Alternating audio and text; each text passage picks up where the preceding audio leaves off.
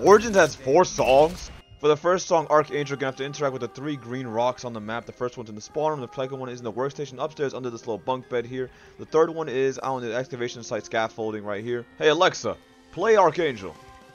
Second song, Shepherd of Fire, you're gonna interact with these three little radio things on the map. The first one's in the excavation site scaffolding downstairs. Second one's in the crazy place onto the walls to the right of the fire portal. The last one's actually the giant robot Freya, the church robot. Third song, Aether is really easy. You just interact while prone on both of these ones at generator 1, and then at the number 5 at generator 5 over here. Now the next song, this is only on Black Ops 3. You have to shoot the size of this rock at the bottom excavation with the four staffs. Each of these sizes is shown in the screen here. Go to the crazy place. The doll Samantha will be in the middle. Just interact with her and then shoot the next few dolls that appear. Now you're to see one going all the way up after your death machine. Let it rise and you will get a max ammo and the song will play. Now go and have an amazing day.